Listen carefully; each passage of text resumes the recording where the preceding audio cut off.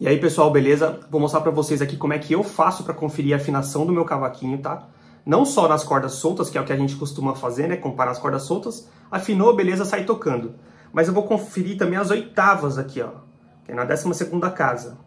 Cada corda afinada, eu vou apertar aqui e vou ver o que, é que acontece aqui. Tá? Só para mostrar para vocês o meu dilema e provavelmente o dilema de, muito cava... de muitos cavaquinistas por aí, né? Então se liga só. Rezão. Afinado, Sol.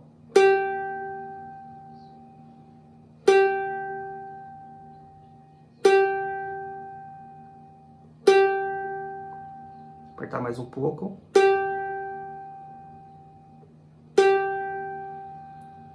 Beleza, corda Si. Tá afinado e a corda Ré. Afinado. Opa!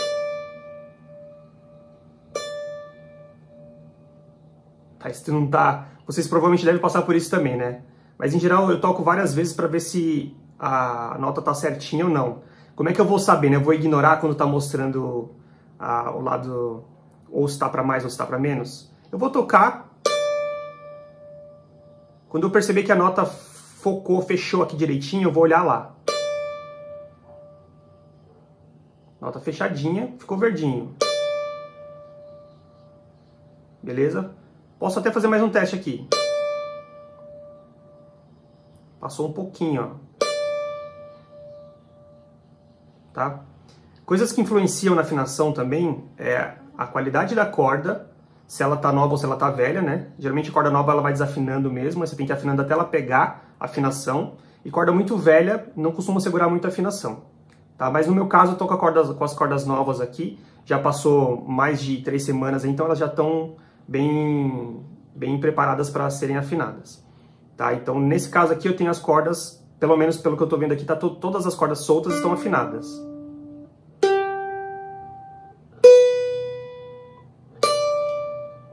Beleza? O rezinho às vezes passa um pouco mais, dá pra ver que ele tá afinado ali, ó.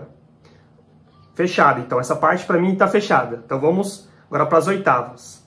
Teoricamente, se eu pegar a corda Ré solta aqui, que vai ficar verdinha ali, eu tenho que pegar aqui na 12 segunda casa, aparecer a mesma letrinha e ficar verdinho também.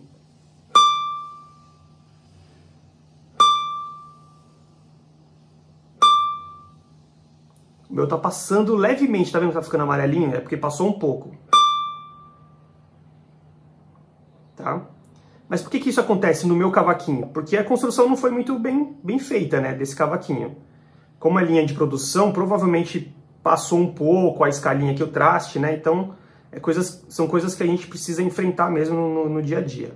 Então aqui dá pra ver que a corda Ré tá um passou um pouquinho. Vamos pra corda Si. Também passou um pouco. A corda Sol. Também passou um pouco. E a corda Ré. Agora apertada aqui. Também passou um pouco. Todas as minhas notas aqui do 12 casa passam um pouco. Isso mostra que a construção da minha escala aqui não foi muito bem feita. Tá? Vamos pegar aqui que a gente costuma comparar, né? Para quem toca cavaquinho, geralmente a gente faz isso aqui, né?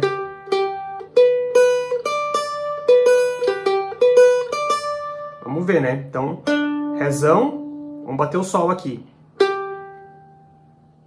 Fechou, beleza. Sol, vamos bater o Si. Fechou. Si. Vamos bater o Ré. Agora bater o Ré aqui. Ó, o meu Ré. Na corda Si ele já passa, tá vendo? Tem, temos um problema aqui. E aqui embaixo o Rézinho. Ok, vou bater o Sol aqui. Até que ficou legal, né?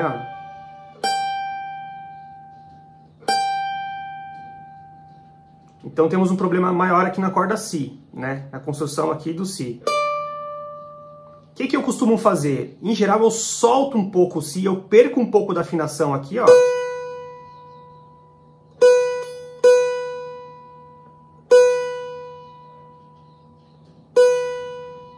Ó, soltei um pouco, ainda continuou verde, né? Mas soltei um pouco.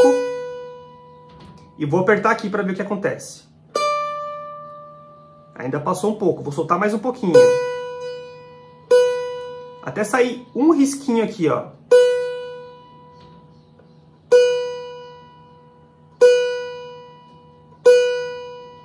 Acho que tá bom, né?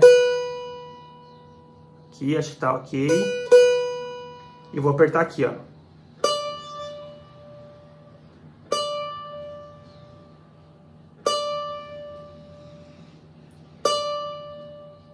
Então ele fica entre verdinho e passa um pouco, né?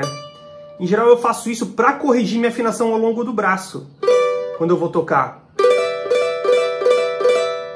Tá? Isso para cavaquinhos que não tem uma construção muito boa, tá?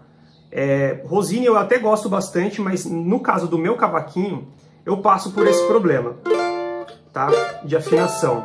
E aí eu tenho que ficar compensando essas coisas. Às vezes o Si passa um pouco, então eu solto um pouquinho até ficar uma barrinha lá do vermelhinho, é, do verdinho para trás, né, que fica vermelhinho. Se, ficou, se for o amarelinho também, eu ganho esse pouquinho, né? Por exemplo, aqui, ó. Tá vendo que o Si agora ficou certo na, na 12 casa? Olha lá. Porque eu tirei uma barrinha aqui, ó. Tá vendo? Então, essa é uma forma que eu faço aqui, ó para garantir a afinação do meu cavaquinho. Se vocês tiverem problemas parecidos, comentem aí, para a gente saber o que está acontecendo com esses cavaquinhos no Brasil.